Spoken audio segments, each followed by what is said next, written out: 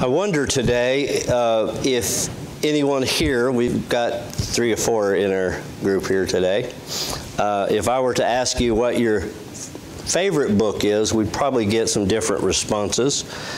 Um, actually, there was a, a magazine, uh, the Yale Alumni Magazine, that did a kind of a survey and asked that question what is your book that had the most impact on you in your life? And the responses were a little surprising to me. Um, a Yale professor mentioned this Winnie the Pooh as one of the books that had a profound impact on their life. They talked about the different characters and, and all of that and learning uh, that they, they taught life lessons of how to deal with life and how to deal with things in the classroom. And so I thought that was interesting. and then uh, someone mentioned the story by, it's an autobiography by Helen Keller, The Story of My Life. How that was very impactful in their life and is actually another professor who had found this book, who was a professor in Africa, and pulled this book out of the trash can and read it. And it had a very profound impact on their life. One of the persons at Yale Peabody Museum said that a book that had a big impact on them was the Giant Golden Book of Dinosaurs uh, and other prehistoric reptiles. And even though some of the material is outdated, it, the pictures and the book uh, continues to inspire them. Well, I imagine there's a lot of books out there, uh, and I can think of books that I've read that have had a big impact on me. But I would say that if you were to ask a lot of Christians that I know, most of them would say the Bible that the Bible has had the most impact on their life. Specifically today, uh, some would say the book of John, where we're talking about today. And you could take one verse in John, John 3:16, and look at the impact that verse has had on so many people. Martin Luther called it the gospel in a nutshell. And I think there's some truth to that. And you think of the story of Jesus meeting the woman at the well, which teaches us about how Jesus uh, intersects with different faiths and different uh, people from nationalities, other places. And so you, you, you get a picture of, of Jesus and his ministry going far beyond Jerusalem. And then we come today to this passage in John chapter 11. It is a story of Mary, Martha, and Lazarus. It's a story most of us are familiar with. Jesus had developed a relationship with these people, and uh, you remember the, the story of Mary and Martha and how he had been to their home probably many times. And uh, Mary sat at the feet of Jesus. Martha got a little upset. Um, but as the custom of in those days, uh, the women were usually doing the cooking, and uh, it was much different than those times. So Martha got upset about that, and Jesus said Mary had chosen the good part. Then we come to uh, this passage today, and it's the passage of uh, really talks about the, the death of Lazarus and uh, his raising, Jesus raising him.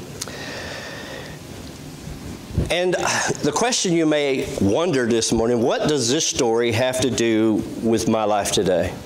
What does this have to do with anything that's going on in the world today? And I want to say today that I think it has a lot to do with our world today. And I think there's some lessons that we can draw from this as a people of God. We understand that there's a lot of people that are afraid.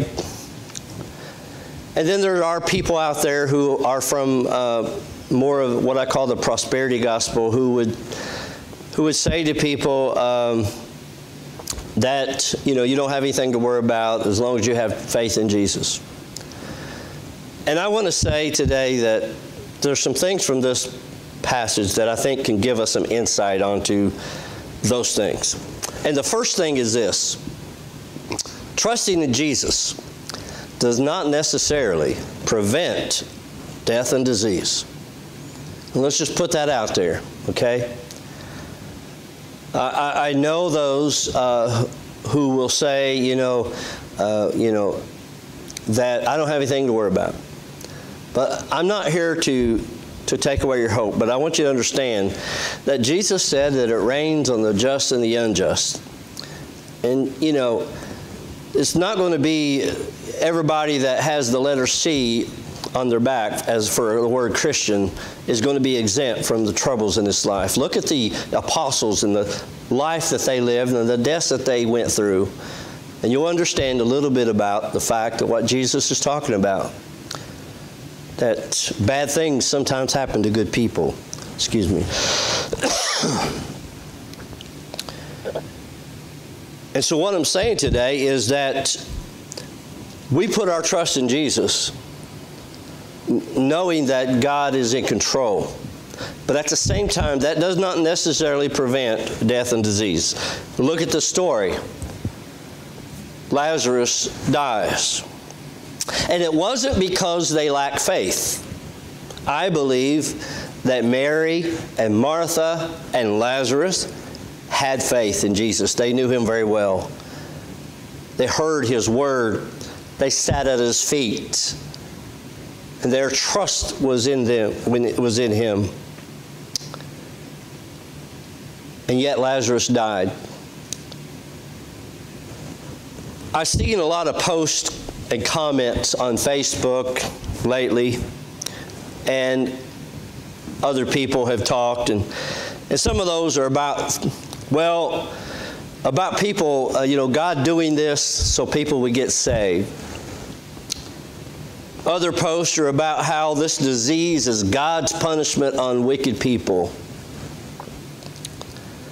And I just want to say that I don't find that kind of rhetoric very helpful.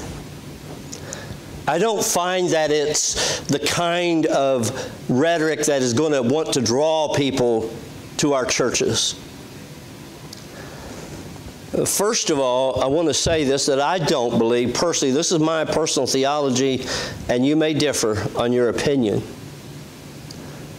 I do think that sometimes that we, we uh, reap what we sow. But I don't believe God is up there pulling the strings, making people get sick and die.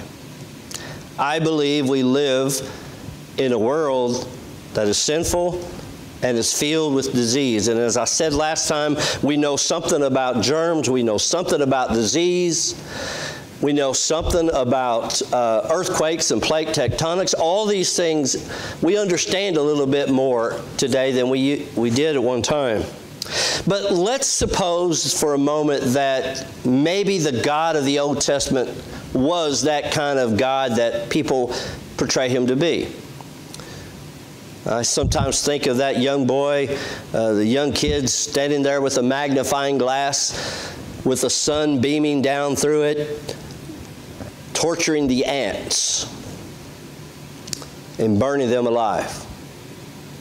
And I think there's some people who sees God that way, but I don't. But let's suppose that was that is the God of that maybe in the Old Testament. I'll just humor you there. I want you to understand this Jesus died on a cross for your sins and for mine. His death was sufficient. And it says in John, 1 John 2 2 that He is the propitiation, He is the atoning sacrifice for our sins, and not only for ours, but for the sins of the whole world. And so when Jesus died on the cross, that satisfied the righteous demands of a holy God. And God looks at Jesus, and he's able to see the Son of God who died on the cross for the sins of humanity. I believe that the problem of sin was satisfied on Calvary. I don't think God is up there just pulling strings and taking people out because they mess up. Because if He is, we're all in trouble. you could take the best person in the world today, and we don't measure up. Now, you can choose not to believe and serve God, but I want to tell you something. God is not out to get you, not in the way you think. I believe God is constantly pursuing you. We talked about Wednesday night on our Facebook Live that in Psalm 23 that he's talking about God pursuing us, that surely goodness and mercy shall follow me all the days of, the, of our lives. And the idea there is that God is constantly pursuing us, wanting a relationship with us, that God wants to have a relationship with you. I think of the prodigal son who came home, and it wasn't the father who turned his back on the son it was the religious older brother. It was the father who ran to him and met him and kissed him. That's the God that I know. That's the God that I see today who is pursuing and constantly looking and longing. I think of that. I remember when I was in 4 H camp, them telling the story of the prodigal son as a young boy. It had a, an impact on me. And he talked about how every day the, the, the, dad would go to the front porch and look out over the valley, just looking and waiting for his son to come home. And I thought about that. That is a picture of God for a lost world today. A God who's not out to get you, but a God who wants to get you to come to Him. And He's longing and He's begging. And yes, you can say no, but He's not going to give up. He's going to keep pursuing, I believe. I moved to Indiana when I was a senior for a while. One day my uncle showed up and asked me to go with him to Indiana. And I rode in the back of a rent Ryder truck all the way to Indiana, slept on the, the moving blankets.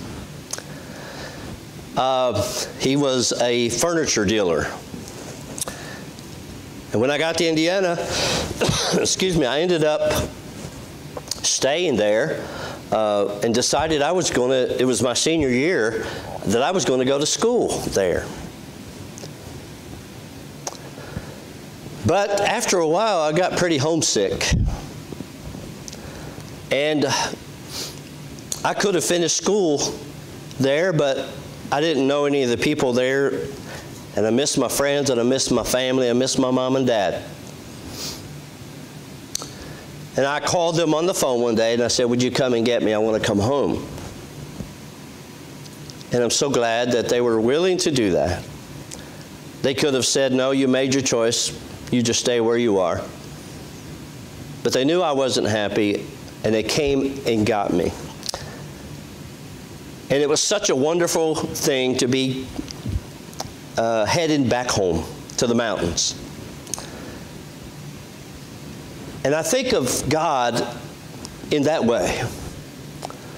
A God who, when I call and say, I've wandered far away from home, I just want to come home. I think of God who's saying, I've been waiting for your call. Just come on home. Maybe your picture of God's different than that.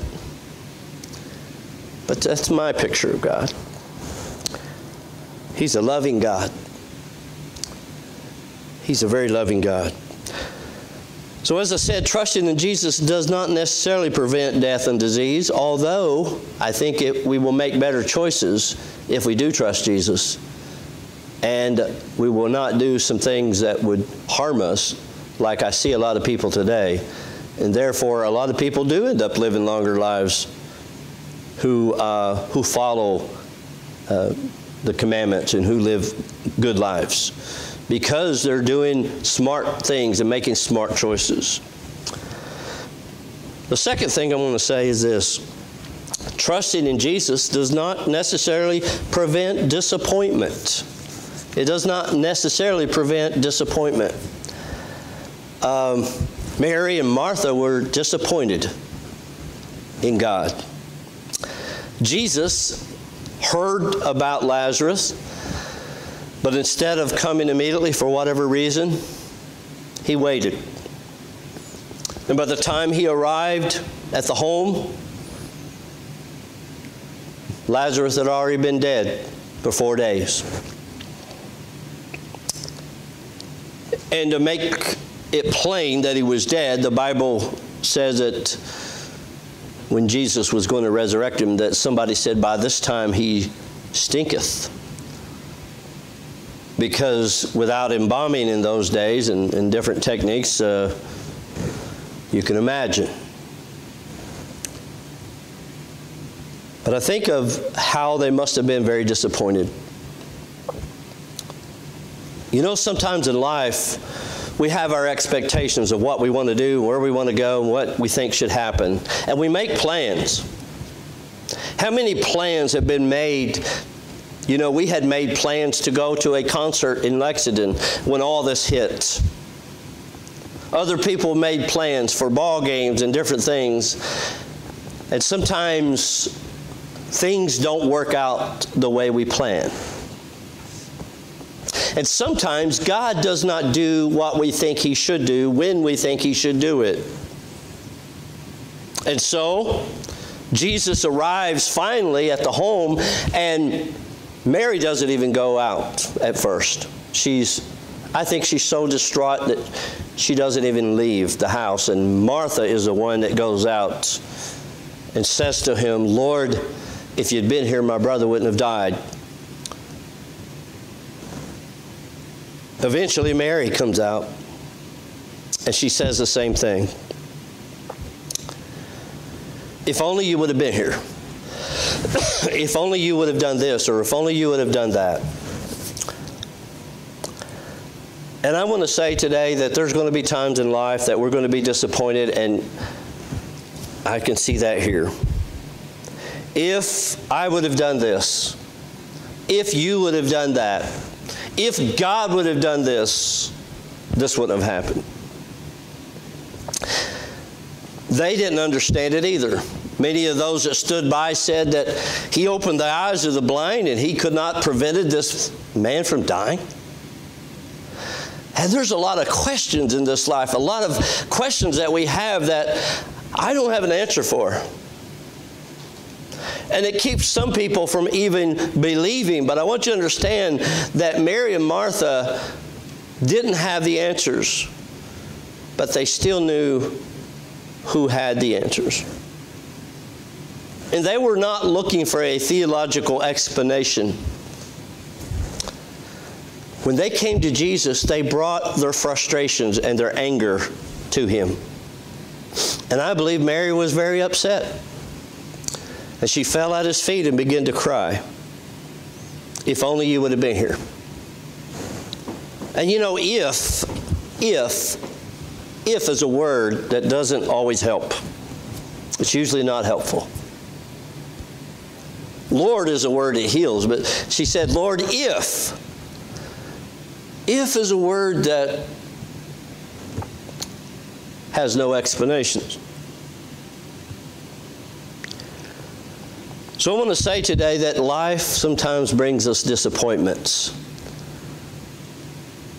But I do want to say this that trusting in Jesus does give us hope for the future. Jesus said to Mary, and Martha, Your brother shall rise again. Now, that may not have been the words she wanted to hear, but that was true. She didn't know how true and how soon, but she knew it was that Jesus was talk in her mind talking about a general resurrection sometime. She said, Yeah, I know that he's going to rise in the last day. Uh, I know about that. And you know, sometimes when people come to us and they try to offer uh, something that would cheer us up when we're down, it doesn't always do that, does it? Sometimes what we need is not a theological explanation, but we just need Jesus. And that's what she needed. And so I think sometimes that we have to be careful that we're not so focused on the here and now that we lose hope for the future. And the thing I, I want you to understand that life does bring us disappointments, but here's the thing God may not always do everything we want Him to do. God will do what He knows best. And in the end, He'll make all things right. As we think about this pandemic, most of the focus is on the negative. It's pretty hard sometimes to see the bright side as we see scrolling up on our screen of the TV and the Facebook, the numbers of those that are die that are dying and are affected, and healthcare is overrun, we don't always see the good, but not always bad. There is good news out there. We just have to look for it. I believe there's brighter days ahead. I believe that there's brighter days ahead. And I'm not saying that we deny reality, you know, about lives lost and jobs lost and all that. But we can't always just look so focused on the negative and on the here and now that we lose hope for the future. We have to see that this too shall pass. And I believe this if you trust in God, if you trust in God, you can see beyond all this. You can see beyond this to a future that God has for you and for me. And what I'm saying is this God is with us right now in our suffering. Because he stood at the grave of Lazarus, shortest verse in the Bible. What an impact. He stood at the grave of Lazarus, and the Bible says Jesus wept.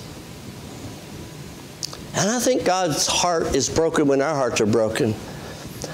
And I don't understand sometimes why God allows things to happen. I can't explain it. I really can't. I, I know that there's uh, people that believe, uh, for example, uh, the deist theory that God sort of winds the world up like a clock and then walks off and leaves it and, and lets us fend for ourselves. That's the picture of God that many of our former uh, early presidents had.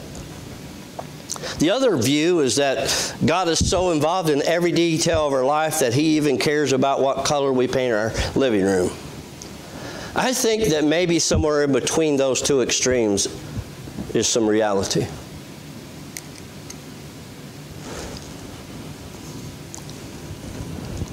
That if we believe in God, God is God is with us in our suffering. He weeps with us. When I was a young man, I lost my, uh, we lost our first child, was a little girl. And I remember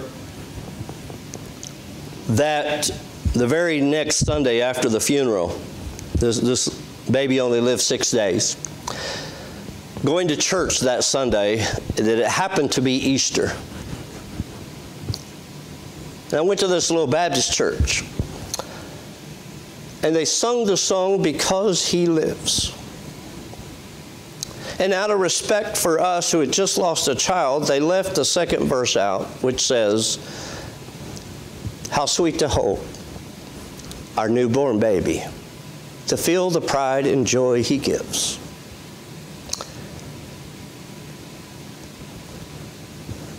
But I want you to know that I didn't lose all hope. I stood at the grave of this child, of this little baby at Golden Oaks Memorial in Ashland, Kentucky. And I said these words I'll see you again. And I believe, I believe that in this life we're going to see all kinds of things. And I can't promise you a life of roses, but I know this that because He lives, we can face tomorrow. And because He lives, all fear is gone. Because I know He holds the future. And life is worth the living just because He lives. I want to ask the musicians to come as we pray. Father,